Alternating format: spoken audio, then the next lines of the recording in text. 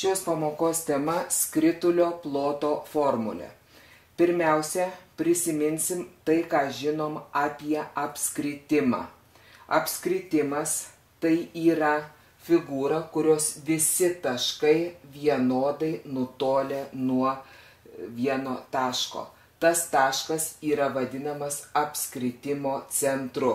Mūsų atveju taškas O yra apskritimo centras. Žinom, kad į skersmenį, o skersmuo tai yra styga einanti per centrą, telpa du spinduliai.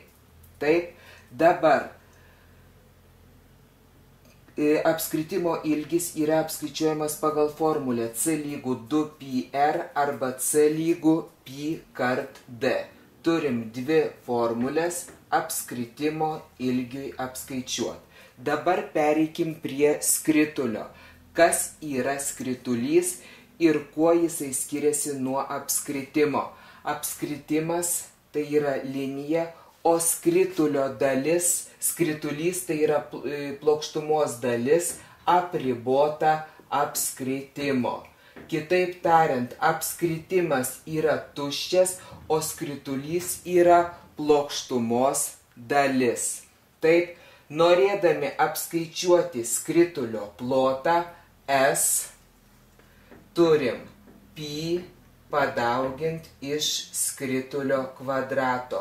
Turim, kad S yra lygų pi R kvadratu, kur pi yra 3 sveiki 14 šimtųjų.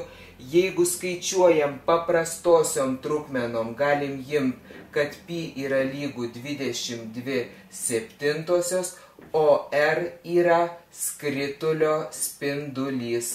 Skritulio spindulys.